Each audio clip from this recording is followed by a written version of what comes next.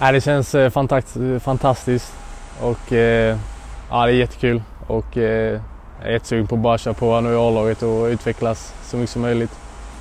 För de som inte vet så mycket om dig sedan tidigare, kan du berätta lite kort om din fotbollsbakgrund? Eh, jag började min karriär i Sandsbro AIK som eh, sexåring och spelade där tills jag var 14 innan jag gjorde bytet till Öster. Och sen har jag kört på här i ungdomslagen då i Öster. Hela vägen.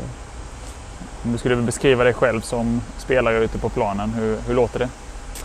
Eh, ja, en eh, mittback eller innermittfältare som ja, har en helt okej spelförståelse och eh, kan springa mycket och eh, har väl ändå en ganska bra passningsfot. Du har varit uppe lite i A-lagsmiljö, träningar tidigare. Vad är din känsla kring gruppen som är i eh, A-laget? Nej, det känns som en jättebra grupp faktiskt. Många sköna människor som välkomnar en varmt och eh, känns även som att alla vill eh, vinna matcher här och bli bättre fotbollsspelare. Dina förväntningar på, om vi tar först, dels denna säsongen som återstår men också framtiden. Hur, hur tänker Kasper Eklund då?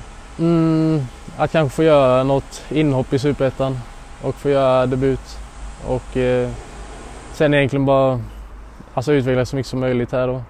Och sen i framtiden kunna vara en startspelare i Öster och eh, hjälpa dem att komma upp till Allsvenskan. Även bidragit till en stark säsong för P19. Leder just nu P19-allsvenskan södra. Dina tankar om den säsongen hittills? Nej, det har ju gått eh, riktigt bra faktiskt.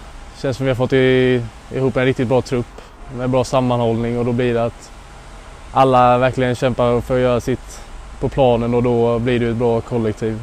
Och jag tror det är egentligen det vi vinner alla matcher på. Finns det fler spännande spelare underifrån med andra ord? Ja, absolut.